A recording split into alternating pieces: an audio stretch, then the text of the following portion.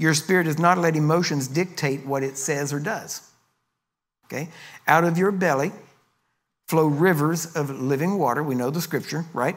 And out of the abundance of the heart, the mouth speaks. Now, notice, out of your belly, that's talking about the spirit, will come out of your belly, out of your spirit. The Spirit of God comes out of your spirit. But now, notice, out of the abundance of the heart, the mouth speaks. So you can have spirit life coming out of your belly, but out of the abundance of the heart, your mouth will speak. So your heart, your, that's your soul. That is where your soul, your body, your spirit all come together and connect. That what is in abundance. Notice not just what's there, what's there in abundance. If it comes out of your mouth, you're full of it. Just seeing if you're listening. yeah, literally, that's right. Why? Because it has to come out of the abundance. Now, trying to finish up here. so, don't let outside forces, people, situations, your own body. Remember, your body is the outer court, it's the outside source. Don't let people, situations, or your own body determine your emotions and therefore your words and beliefs. Don't let how you feel, body and soul, determine how you respond to the feeling. That's self control, it's out of the spirit. Let what is in you out. Now, that's only good if you're born again. If you're not born again, keep what's in you. Okay? now, but let what is in you out. Let the Word of God and His Spirit determine what comes out of your mouth, and let it determine how you feel about the situation.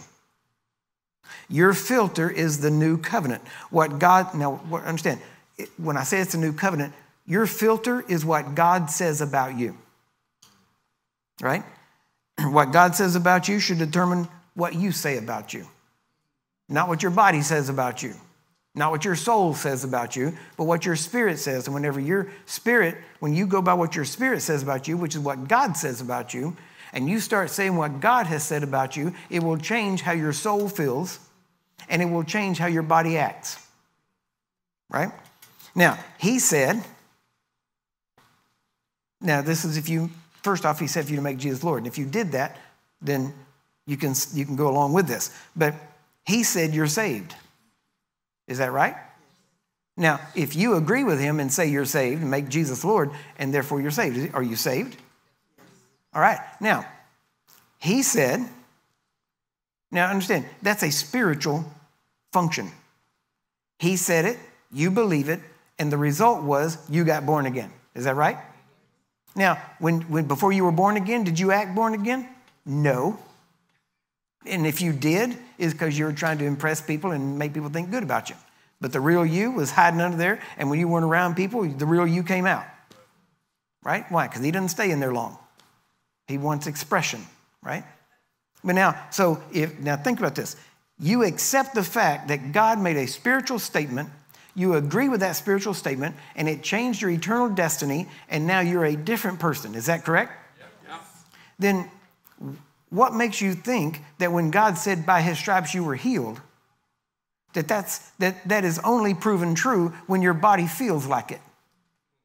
Because when you made Jesus Lord, I guarantee you, your body still wanted to sin. Why? Because it was trained to sin.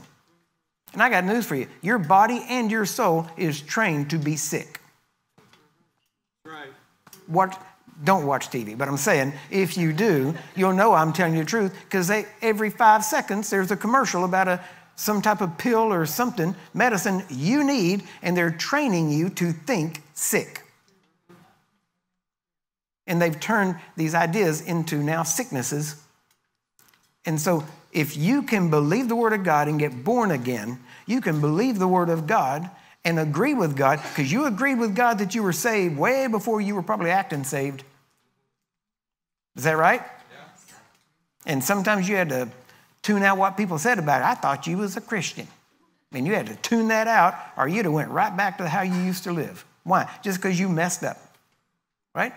But if you can do that with salvation, which is the biggest deal, then why can't you do that with healing for your physical body?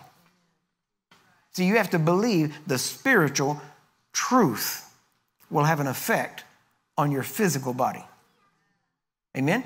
If you don't believe that, then you don't believe the Bible because the Bible says that when you get born again, eventually, someday, and if you're here long enough and you pass away and you're buried or whatever it is, that at some point you're going to get resurrected. So your salvation has to do with the future condition of your body.